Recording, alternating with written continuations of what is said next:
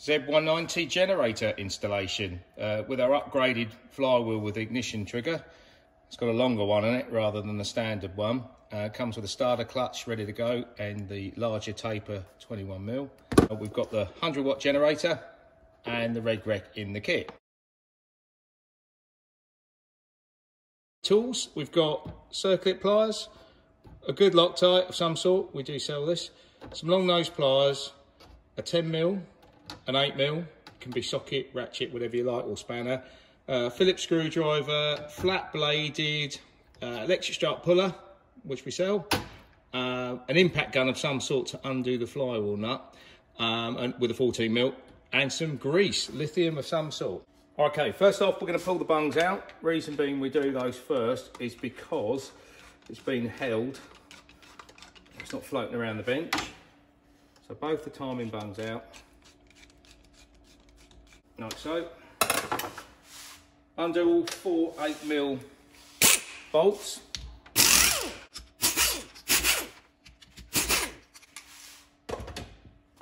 You've got three of one length and a short one down the front there. So you can just lay them there. Pull the cover off. Can be a bit tight, just have to be careful not to rip the gasket. So there's the uh, original coils to our uprated coils. There you go. Right. So first job we're going to do is changing the flywheel, get that changed out, and then we'll do the coils.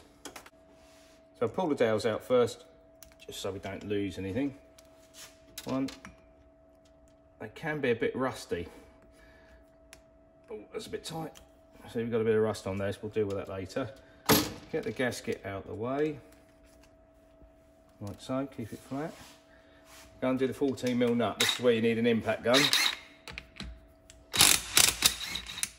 There we go, out of the way. We get our puller. The important thing with a puller is to grease just a fraction on the end of the actual puller nose itself because this has got a counter bore in it and if you try and force it up too hard what it does is it ends up belling out the end of the crank so you've got to be very careful when you do this so thread the puller on like so till it gets all the way up to the shank. That's it. Wind up the centre just so it touches. Change the socket. So we've got to be careful. We'll do it in a couple of shots. So we go one, back it off, and then again. And it just comes off like that. There's no need to force it into the end of the crankshaft. Otherwise it can end up, as I say, bruising the end of that. So, while we're off, put that to one side. I need to undo the 10 mil here. This is a retainer, like so. Put that down there. Next, we'll remove the circlip off the end of the starter drive. If I can do it, there we go. Lay that there. Need to take the top rubber out. You can leave the bottom one in. We don't need to disturb that. Just give it a little bit of a pull. Drop the chain over the center run and then a second pull and it's out. Just keep it in the same rotation you take it out, then you know how it goes back in because it is actually handed. Well, it's, it can go up either way, but people tend to, I've seen them force them in the other way, which of course it doesn't want to go in. So just keep it in that order. We need our long screwdriver. Prise, we've got to carefully lift the drive gear off like so. Can get a little bit stuck. They've got to come off together equally can be a little bit stiff, like so. That's it. So that's off. Keep that in one piece. Check the two Phillips screwdrivers. Make sure that they're actually tight. We're using our air tool. We've had these come undone. That's it. Uh, we check the eights as well, just in case.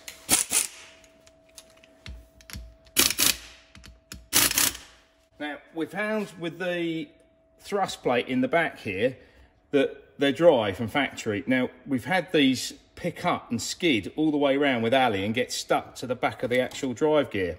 As part of the PDI and the service, we some form of smear of lithium grease on there. And even though the starter gear has got it as well, we just give it another dose. Doesn't need too much. I've spread it everywhere, but that'll be fine. Okay, so that's all checked. We can put this back in now, like so. There's no timing marks or anything, it just literally goes on like that. Clear that in, get our circlip on first, like so. That's on, seated nicely. Uh, keep your eye out, if you do drop the gear out or anything like that, the sprocket, the long nose on the drive sprocket goes inwards towards the starter motor. So retainer next. We always grease our bolts. So put the retainer on next. We won't be using an air tool to do this up because it's only a shallow thread and you can end up pulling the thread out. So we'll just do that up lightly. It just wants a nice, just a nip, like so. Then we can put our guide back in, making sure we get it the right way. I've got that the wrong way, there you go. That's the right way. You can see the shape of it to the crankcase. Nicely done, that's it. So we've got a nice, correct amount of chain tension. Shouldn't be able to just pass that through. It should just, you can see you've got resistance there. So the chain's good. That's all good to go together now. So we're gonna take our new flywheel. You can actually have a look now at the difference of the triggers. If you can see, ours has actually got an exciter on it, whereas the factory doesn't. It doesn't allow the engine to advance at all, causing them, they run hot, they run flat, but with this, it's a, it's a real transformation. Right, so the new, the plastic collar out the new flywheel stops the rollers falling out of bed. Put that in the old one, stop it failing out. Right, find the woodruff key. They're really shallow, so you've got to be really careful here not to miss the woodruff. I've seen people put them on and do it up. Now, a good trick is to shine a torch in there and have a look just to make sure that the woodruff is in fact appearing in the window of the cutout, which that one is.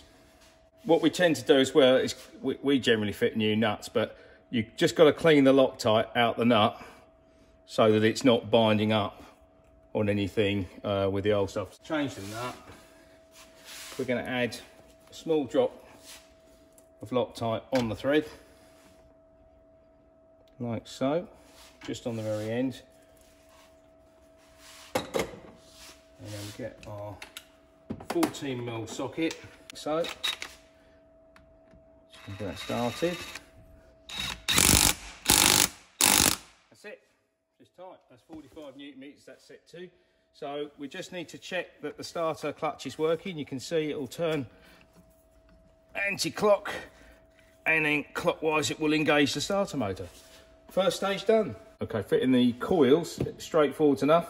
I'm going to use my little rubber pad so we don't scratch the cover, like so. Uh, we're going to take the coils all out completely, everything that's in here. So you need your 8 mil, like so.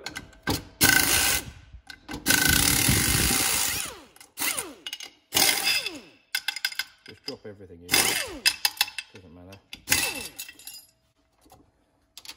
They are Loctite from factory. You don't really need to do that. It just ends up pulling the threads out eventually if you've got to take it out for any reason. Right, so old coils are out and gone. Chip everything out the cover. Check there's no lumps of muck in there or anything, which is all clean.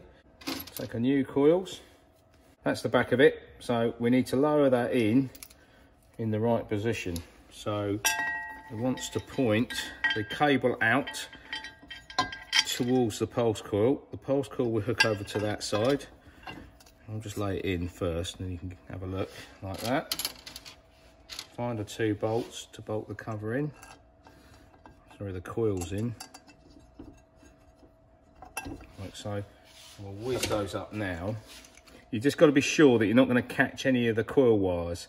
Sometimes the windings do come very close, so you just got to watch that.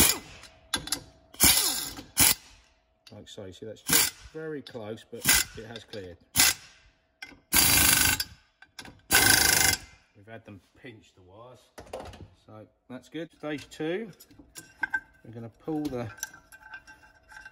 rubber grommet up out of the way first. It's a little bit tough.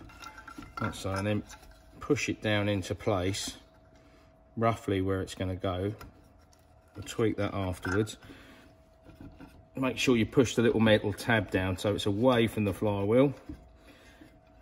And I'm going to hook the pulse coil in. If I uh, fumble away here a bit, but like so. We've made this little tool to make it easier for us. It's got a magnet in the end. So we can get these started. Number one. Obviously we're trying to do this in good speed. You don't have to be as quick as us. Like so. Right, then we'll do those up so they're finished.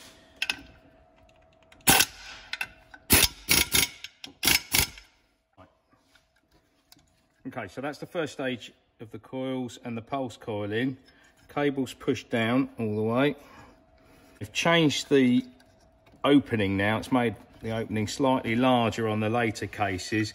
You can just use a little bit of RTV just to seal it in. As you can see, look, it's a slight difference in size. Right, so we'll pull that through. Get the cable retainer. Drop it in. It has actually got a double, like a little notch there so it locates when you do it up and it stops it turning round. So let's just get that in, 8 mil. Pinch it up in place. Like I say, you can take your time with this. Do it up, there we go. So inside, we just last final pressing down. So we know the cable's got a good run. It's not in the way of the flywheel. The flywheel does sit further up than when the cable is. There we go. Cover on. So dowels cleaned up in they go, one at a time. There we are. Gasket, make sure it's intact. Nothing stuck to it. Lay that on. Check that the neutral grommet is located nicely. And there we go, that's on. Happy with that. Just check the flywheel's got nothing in there stuck. No gremlins, shards of steel. Take your cover with everything installed. I'm going to literally drop that straight on. Nothing needed more. We've got three of the same length bolts and one short. So short one in the front, the other three in and around, like so. Do them up. And the final. Like so. Next, we just need to be sure that everything's clearing Just turn the engine over. Nothing inside launching or it turns freely like so. Just got to put the timing bungs in. Now it's really important, grease these. They end up picking up on the aluminium thread and tearing out at sometimes. We've had them do it from factory. So put the top one in. If I can get it started. Like so just a nice nip and the same with the main one. Like so. Just a nip up. That's it. You've got the bottom end all together. Next video we'll try and show you how to wire it into the actual main loom and also the charging circuit